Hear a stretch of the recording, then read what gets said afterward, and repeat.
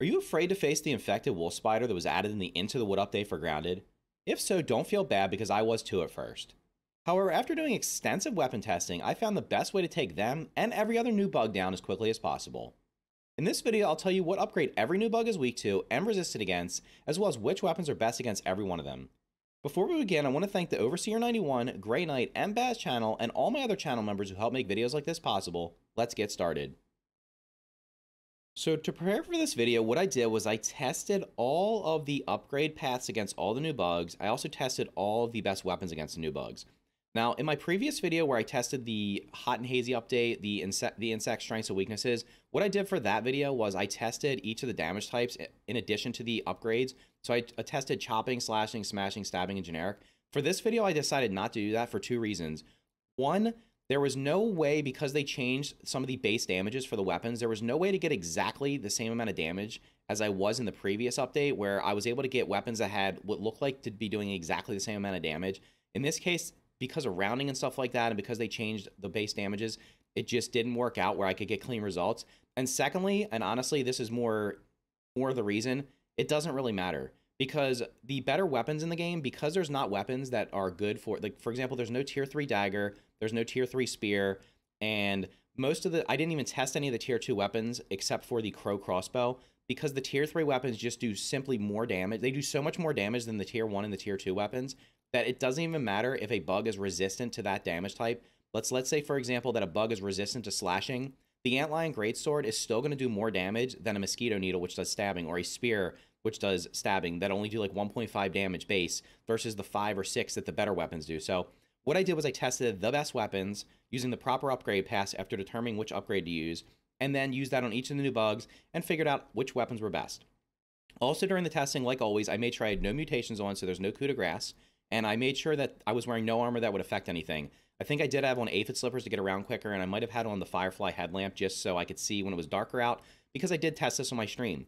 Now, normally in these videos, I would show all the results, but in this case, it was about five or six hours of testing on one stream, and I believe I tested a little bit before that. So I will leave a link for the stream that I did most of the testing on down in the description below, just in case you're interested. But in this video, there's not going to be any testing. I'm just going to get right to the numbers so that this video is only, it can be as efficient as possible and not be a 20, 30, 50 minute video. So here's the summary of all the new bugs that are added in the game. The one you're going to see at the bottom is Roly Poly. Roly Poly's not new, but they did they did add Roly Polies that are not sickly. So there are sickly roly polies, but there are new roly polies. They do in fact have the same weaknesses. So what you're going to see on these charts is I did I tried to color code things to make them as easy as possible. So if you see white text, it's going to mean salty. If you see the aqua text, it's going to mean fresh or the mint upgrade. If you see the red text, it's going to mean spicy. And if you see orange, it's going to mean none. So I'm not going to read through all these. You can see what they are. But basically what I did was I categorized them by their weaknesses, and that's the order we're going to be going through them in. So the Black Ox Beetle, Termite, Termite Soldiers, and Termite King are all weak to Salty. Dust Mite, Green Shield Bug, Infected Wolf Spider, Ladybird, and Ladybird Larva are all weak to Fresh. Roly Poly is weak to Spicy, and the Scarab is weak to none. The Scarab's unique in that it is not it does not have any strengths or weaknesses from my testing. And like I said, I used a level 9 Antlion Greatsword with each of the upgrade paths on these each of these bugs, and these were the results I got. And then you can see the resistances. So Black Ox Beetle, Dust Mite, Green Shield Bug, Roly Poly, and Scarab have none. The Termite and the Termite Soldier were fresh and spicy. For some reason, the Termite King was not resistant to spicy, but he was resistant to fresh. And then the Infected Wolf Spider and Ladybird were resistant to salty. And the Ladybird Larva is like super ultra resistant to spicy. There was a bug where it wasn't taking any spicy damage. They did fix it, but do not hit a Ladybird Larva with anything spicy right now. Even if they do, like if they don't change anything, it's really, really bad. It'll take you lots of hits to kill with something spicy, so I do not recommend using spicy against them. So now with that out of the way, what we're going to do is we're going to look at each one of these individually, and I'm going to show you all the weapons and explain what, or basically just tell you what the best options are for each one of these insects. So first up is the Black Ox Beetle. These are the beefiest new enemy added in the game. And up at the top, you're going to see the name. So the name is in white because it is weak to salty. And then in the parentheses, the first is going to be the weakness, and the second is going to be the resistance. So in this case, weak to salty, resistant to none. That's going to be the format for all of the video going forward, just to keep it simple. And as you're going to see here, these are all the weapons I tested. So I, what I did was I used all the tier three weapons, and I also used the crow crossbow because it was the best weapon. It was the best. It's the best bow in terms of damage per shot, and it is also the best stabbing damage because it does count as stabbing damage. For the Crow crossbow, I also tested different arrows. So I didn't use the basic arrows because I didn't, they just don't do as much damage. I, I used the feather arrows, the splinter arrows, and then I use whatever arrow the upgrade was for this. So for this case, it was salt. Others it will be mint, and others it'll be the spicy. So in this case, the best weapon used against a Black Ox Beetle is going to be the Black Ox Hammer. Now, of course, the first time you fight it, you're not going to have it. So I would recommend using the Club or the Mother Demon, or even a Crow Crossbow with the Salt Arrows. You can see how quickly 12 shots. Now again, this is with no coup de grace. This is with no marksman's cap. If you use coup de grace in the marksman's cap, you're going to get more. You're going to do more damage with the marksman's cap for the crossbow. Plus, you're going to get that 25% chance of crit. So, in the best case, using the Black Ox Hammer, you might be able to kill it in seven to eight hits, if depending on your crits. But on average, if using a Black Ox Hammer with coup de grace level two, you should be able to kill the Black Ox Beetle with a Black Ox Hammer that's salty in probably about eight hits. Without it, this and again, these are all level 9 weapons, so of course if your weapons are lower level, it's going to take a little bit longer. And you can see the results here. So the worst was the Termite Axe, and then one other thing is if it's purple, the purple text is going to mean they're they are upgraded via the Mighty Path because the weapons, the crossbows, and then the weapons like the Coaltana, Mint Mace, and Salt Morningstar can only be upgraded via Mighty. So these are the results for that. Like I said, I would recommend probably now my first time fighting it, I actually used the Salt Morningstar, which you can see is does 20 it takes 21 hits at level 9. So it does take quite a bit of time. I did that because I wasn't sure how much damage they were going to do, but I would recommend if you're, especially if you're decent at blocking, just use the Club of the Mother Demon, or if you want to be really super safe, use the Salt Arrows with the Crow Crossbow. Next up is going to be the regular termites. These are little worker termites, weak to salty, resistant to fresh and spicy. And these guys are really, really super easy to kill, especially with level 9 weapons. Even without level 9 weapons, it's not going to take more than probably like 5 hits or 6 hits with these with the good weapons. So you can see here, Antlion Greatsword, Black Oxhammer and Club of the Mother Demon all take three, as well as the cro- the crossbows. So in this case, you don't even need to use the better arrows. You could just use feather arrows. I used the Salt Morningstar when I did the Termite Hill the first time I went through it, and I didn't have any problems, and mine was only level 7. I used it in the Black Ant Shield. The Termites really don't do a ton of damage unless they get buffed unexpectedly. I would not rec- I, I wouldn't recommend worrying about I wouldn't be overly worried about them. They're pretty simple to take care of. And honestly, from my limited testing when I did the damage types, they actually were resistant to slashing. But the great sword, like I said, because this does so much damage, it's just going to blow through them. So anyway, here's the results here. Like I said, make sure you salty against them. That's the main thing. And then honestly, any they're, they're super easy to kill. I would just recommend not using the Mint Mace or the Coaltana. Termite soldiers, these are going to be the beefier versions of the termites. Same resistance, same weaknesses. So they're weak to salty, resistant to fresh and spicy. Club of the Mother Demon, Crow Crossbow with Salt Arrows actually does a little bit better here, and the Antlion Greatsword. One thing I want to bring up right now that you're gonna you may or may not notice as I go through these.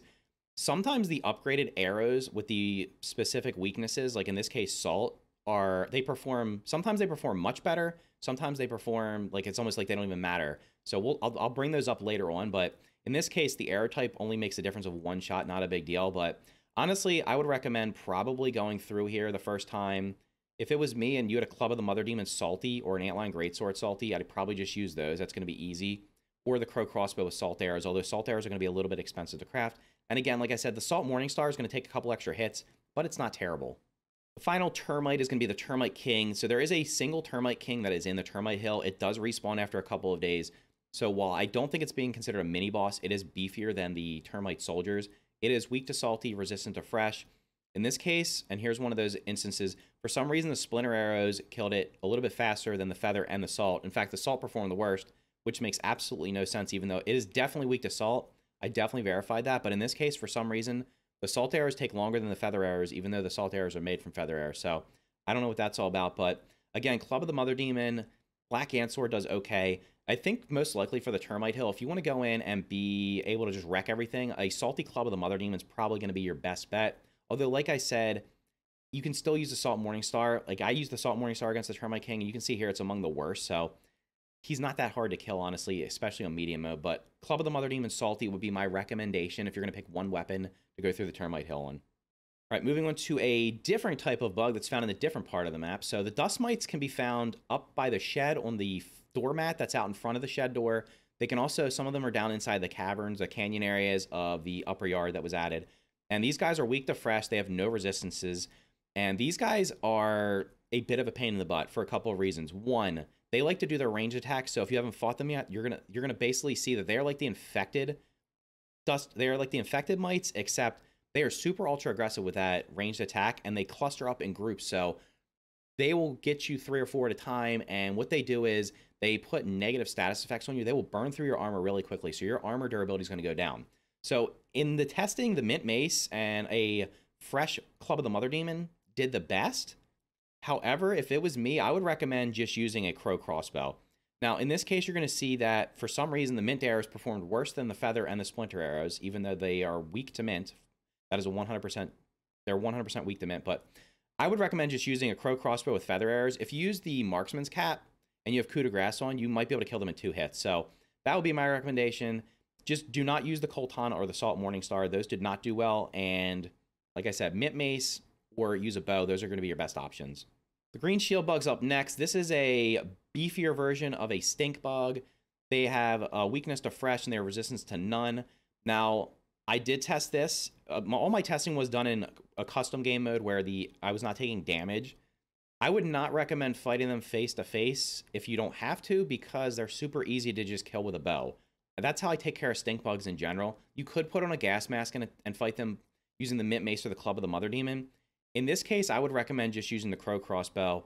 Arrows don't really make that much of a difference because it's 12, 12, and 13. But I would fight them at a range. Every time I've killed them, I've just stood off at a distance. The one that spawned by the cap gun, if it's still there, sometimes it's there, sometimes it wasn't. You could just stand on the cap gun and just pick it off with a bow. And again, like I said, these are results are using no mutations, no marksman's cap. So you could reasonably expect to probably kill them in like eight or nine shots with the crow crossbow, depending on your crits. Our favorite new insect added in this update. Ha ha ha. Infected wolf spider, weak to fresh, resistant to salty. Best weapon against it in my testing was the Mint Mace. As you can see, seven attacks. Again, no coup de grace. Put coup de grace on there, and if you want to get really clever and throw Barbarian on and do extra damage possibly, and the other thing I didn't mention was eating meals. You could eat a spider slider. This is using no smoothies as well, so I forgot to mention that at the beginning. No smoothies either, so basically all these results could be better depending on if you're buffing yourself using those things. But a mint mace with no mutations, no smoothies did seven hits to kill the infected wolf spider. The infected wolf spiders are going to be much harder to deal with than the other than pretty much anything else in the game probably. They have a decent health pool. They do the regular spider attacks, but they also drop little they drop strange spores that explode all over the place. So, in my opinion, what I would recommend doing, even though it's not the number one option here, is going to be using a crow crossbow with mint arrows. Now, I mentioned earlier about the arrow thing. In this case, the mint arrows, it only took eight shots to kill the infected wolf spider. For some reason, the splinter and feather took 20 and 21. So these guys must be super, super weak to fresh, or there's something bugged out about the mint arrows. But in any case, eight mint arrows versus having to face it head to head, I'm going to go the mint arrow route all the time. They're not terribly expensive to craft. So, and like I said, you throw the marksman's cap on, put on coup de grace, you might be able to kill it in as few as five shots. I think the best I did was probably seven. So, but again, it's all about the crit. So you could get anywhere between like five to seven shots with coup de grace and a marksman's cap on, and just safely stand up on a root or a rock and shoot it and not have to deal with it. Ladybirds are up next. These are essentially reskin ladybugs with more health. They are weak to fresh and resistant to salty. In this case, the Mint Mace is going to be number one best option because it has the fresh damage built into it, and then you go up to up, upgrade the Mighty Path, you're going to end up having a higher base damage at level 9 versus the, or the higher damage versus the straight fresh upgrades. Club of the Mother Demon, Black Ox Hammer are both going to do really well. Again, Mint arrows do super well against these guys, but for some reason the Feather arrows and the Splinter arrows took twice as many shots. So that's something to consider as well. Honestly, I fought these guys. I'm pretty sure I fought these guys the first time using Assault Morningstar, which, as you can see, is the absolute worst option. And I still was able to able to take care of them. Maybe I used a sword. I don't remember, but in any case, mint. If you want to face, if you want to fight, I would just use a mint mace. Honestly, probably because that way you don't have to keep upgrading different all these different weapons. You probably have a mint mace leveled up. Six hits with no coup de grace. You're going to probably be able to take them out in five hits, maybe four, especially if you throw Barbarian on. And you can just circle around them and hit them. They're pretty, pretty easy to take care of. Next up's Ladybird Larva. These are essentially reskin larva. They do put a sizzling effect on you if you're not wearing antlion armor. In this case, they are weak to fresh, and they are super resistant to spicy. Again, pretty easy to take care of. You can see they only take three hits with the Mint Mace, Club of the Mother Demon, or an Antlion Greatsword. The latter two being upgraded Minty. Errors didn't seem to matter here, but I'd probably recommend just using a Crow Crossbow against these guys because then you don't have to get in their face. If you have to get in their face, again, Mint Mace, that's going to save you from crafting a bunch of other weapons. Roly Poly, these are the new Roly Polies. They are not sickly anymore, so they have a lot. They have a lot. They have more health. I don't know exactly how much more. They are weak to spicy, have no resistances. The Black Ox Hammer and the Club of the Mother Demon that are spicy did really well against them. Honestly, this is probably one of the only weapon. This is the only bug that the new Coaltana, which is the new secret weapon, is actually good against because it has spicy built into it. It's actually really bad against all the other new bugs, but it'll probably be useful if you go back and use it in the earlier parts of the game where it'll just be like the old Antlion Greatsword that was spicy. In this case, honestly, if you already have an Antlion Greatsword Spicy, which most people probably do, I'd recommend just using that. Like you can see here, it took 11 hits, but this is with no coup de grace and no smoothies being drank, so you're going to get probably 10 hits or less if you're using coup de grace, so not a big deal. They're just going to be a take a couple extra hits to kill versus the sickly roly polies. And then for the last new bug that was added, and this one's got a, is a little bit unique. This is the Scarab. They have no strengths, no weaknesses. And in this case, I tested, I could not kill them with any of the melee weapons in one hit. The issue with not being able to kill them in one hit is they will run away from you and they will burrow into the ground and be gone and then you have to wait for them to pop back up somewhere else. There are anywhere from like two to I think the most I saw was like eight that can spawn at any given time if you use the new survey stations. You'll see where they are. They do typically move in the same direction from where they spawn. So if you figure out where their spawns are, you can usually figure out where they're going. Like I know where a couple of them usually are now, so it's much easier to find them. But in the case of fighting them, what you're going to want to do is you're going to want to use a crow crossbow. Crow crossbow is going to do more damage than the insect bow. You will notice that in this video, I didn't mention the insect bow at all. I prefer to use the insect bow, but in this case, because the crow crossbow does more damage, I've been I would recommend using that for these newer bugs. You're going to need to have the marksman's cap and one of these other things set up here. So in order to one-shot the scarab, you need to have a marksman's cap and a level 6 crow crossbow with splinter arrows, or a level 7 crow crossbow with feather arrows, or a level 8 crow crossbow with regular arrows. I was just using the level 7 crow crossbow with feather arrows I already have that. If you go anything above this, like if you go level 9, obviously you can use any of the arrows. Level 8, you can still use the feather or the splinter. But for me, I was just using the level 7 crow crossbow with the feather arrows and the marksman's cap. And again, I did not have coup de grace on, so that would help even more. And I didn't have any trouble one-shotting them with any of these setups. So those are the strengths and weaknesses of all the new bugs and which weapons are best against them. I'll be updating my original spreadsheet to include this information and we'll leave a link for that down in the description below. If you found this video helpful, make sure to click the like button and consider subscribing for more videos like this. Thank you for watching, and I'll see you in the next video.